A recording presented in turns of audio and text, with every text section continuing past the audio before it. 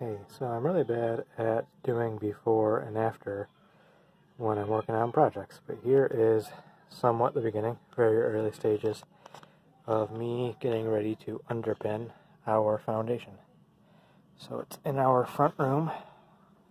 This is the pit so far, just a small step ladder coming down. I have this done so far.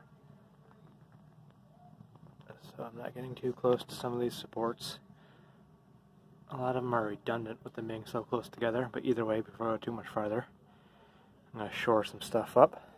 But, taking out maybe half a yard of dirt so far.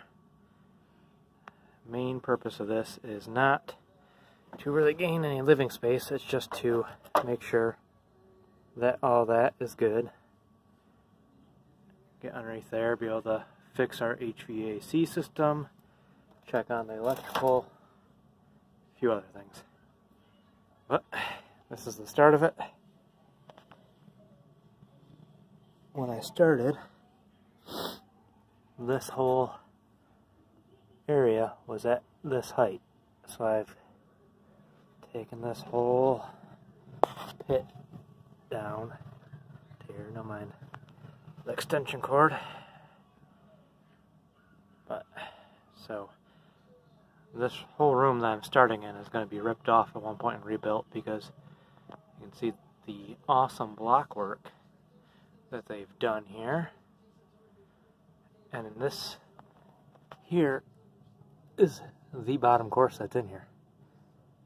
So there is no real foundation under this room.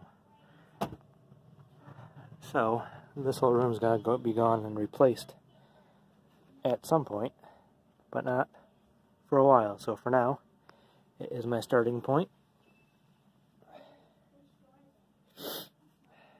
for our dig out process. It's going to be a long one, but hopefully once I get better access to this, I can go faster. Alright, well, that's the beginning of it. Follow along to see how much dirt I bring out of here.